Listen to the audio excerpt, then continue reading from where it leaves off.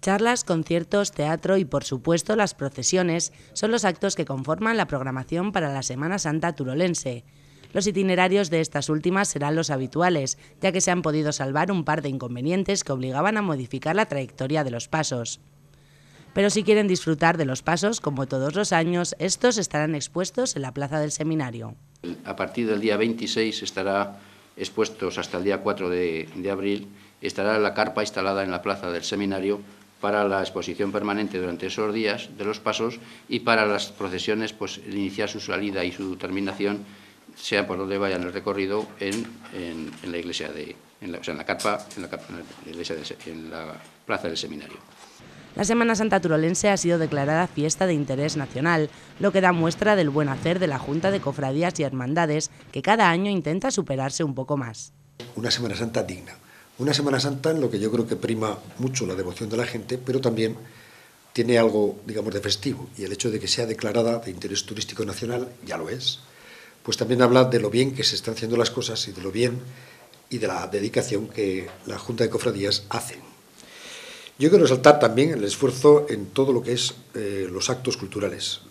Van desde conferencias hasta conciertos de música. En vivir, pues, ese dolor de Jesucristo, ese amor de Jesucristo, el vivir esa entrega del Señor por cada uno de nosotros. Y esto nos lo facilita pues el ver esos pasos por las calles de Teruel en la que nos emocionan, nos recogen y vemos el sacrificio también de esas personas que colaboran y que están llevando esos pasos por nuestras calles para que nosotros podamos disfrutar. Por otro lado, la propia Junta de Cofradías y Hermandades ha decidido colaborar con los damnificados por las catástrofes de Haití y Chile. Así, el próximo 25 de marzo, a partir de las 9 de la noche, la compañía Grupo Siglo XIII representará una obra en la que hablan sobre una duda que los judíos alemanes se plantearon a mitad del pasado siglo. La cuestión es si a Jesús se le condenó de acuerdo a la ley judaica o no.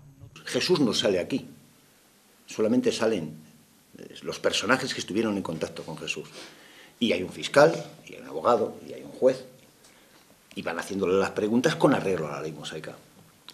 Eh, esto, esto les está matando porque no encuentran la respuesta adecuada hasta que llegan a Teruel. Eso ya no le digo Fabri, eso ya es nuestro. En Teruel encuentran, encuentran la verdad.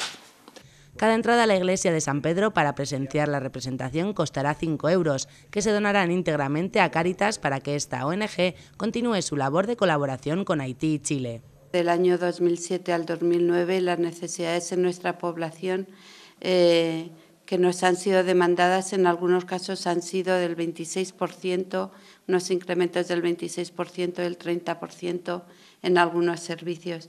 Eso lleva aparejado eh, tener que apoyar con, con, recursos personales de los voluntarios y también con, con dinero.